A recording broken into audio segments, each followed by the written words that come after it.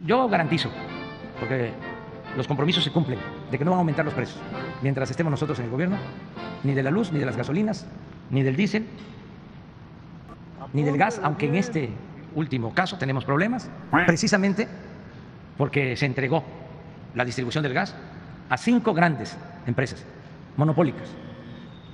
Y por eso ahora se creó lo de gas bienestar y se establecieron precios máximos. Pero en el caso de las gasolinas no ha habido aumento, ni habrá. Yo tengo No van a haber gasolinas. otros datos.